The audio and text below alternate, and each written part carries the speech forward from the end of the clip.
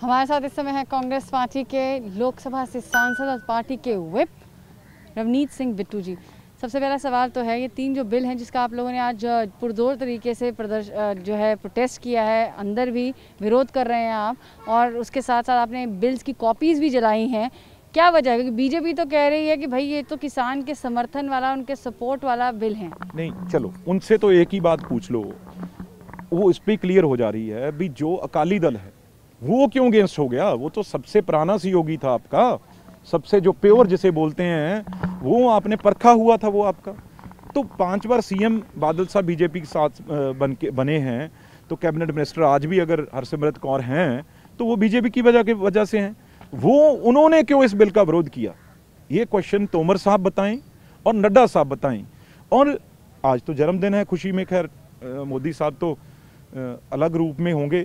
पर लेकिन मैं ये कहना चाहता हूँ, अगर अगर ये तीनों बिल, जिसमें अगर वो एक लफ्ज़ कहीं, एक वर्ड मुझे दिखा दें, जहाँ ये उन्होंने लिखा हुआ है, भी हम इसकी गारंटी करते हैं, जो एमएसपी है, ये रहेगी।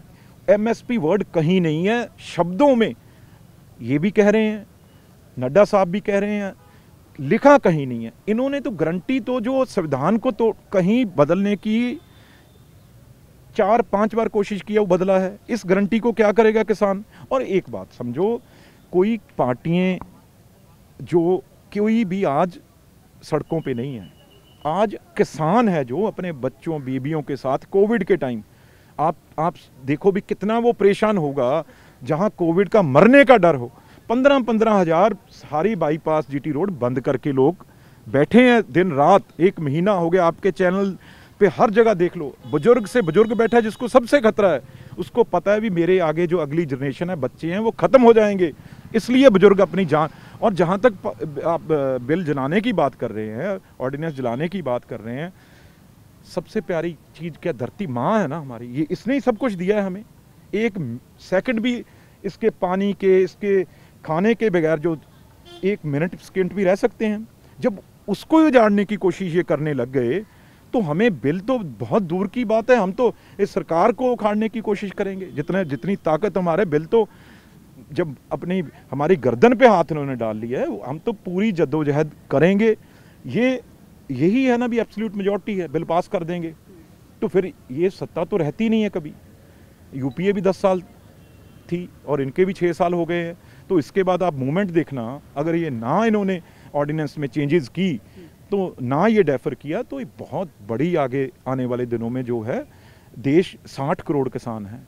240-50 से ऊपर जत्थेबंदियाँ हैं जो आज सड़कों पे ऊपर बैठी हैं। जितनी देर सेशन है तो ये बहुत ही क्रूशल टाइम है। बहुत बड़ा दबाव है जो सारे देश का इनके ऊपर होगा। मेरा आखिरी सवाल जो है वो आपसे ये है कि आज जो है क्रिटिसिज्म आ रहा है कि आज के दिन जो है प्रधानमंत्री का जन्मदिन था और आप लोगों ने जो है प्रोटेस्ट किया इस चीज़ के ऊपर। प्रधानमंत्री जी तो बहुत बड़े आदमी हैं। प्रधानमंत्री जी तो पंद्रह साल सीएम रहे, जन्मदिन मनाते ही रहे हैं। तो फिर जन्मदिन के दिन ये बिल क्यों लाना था? एक दिन डेफर कर लेते। पार्टी तो कुछ नहीं, कोई कह रही, ये तो किसान जत्थेबंदियाँ जो बैठी हैं। अगर उस दिन किसान को आप सत्रह तारीख को मारेंगे तो वो जन्मदिन की खुशी मनाएगा या साठ करोड़ जो किसान है, वो उस पर तो मातम छाया हुआ है? वो किस, उसकी तो रोजी रोटी, उसकी ज़मीन जा रही है। तो वो आज सत्रह दिन मोदी जी के दिन क्या भंगड़े डालेगा? वो तो भाई दबा देगा भी ये कब सरकार जाए और कब हमारी जान बचे। तो आज किसान तो सड़क पे बैठा है बेचारा, इस धूप में, इस मौसम में, इसका मतलब वो दुखी है ना? पर आप ज़बरदस्ती करोगे भी मोदी के जन्मदिन पर ज़बरदस्ती खुशी मनाओ? ये डेमोक्रेसी में नहीं हो सकता। तो ये थे रवनीत सिंह बिट्टू हमसे बात करते हुए। कैमरा पर्सन गंगा सिंह के साथ मैं सुप्रिया भारद्वाज टीवी नाइन भारद्वाज दिल्ली। क्या आप पर भी बरपा है जालसाजी का कहर?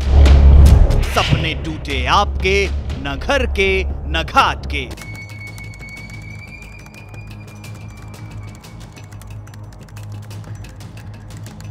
देखिए लूट घर हर रात साढ़े नौ बजे। फ़िक्र आपकी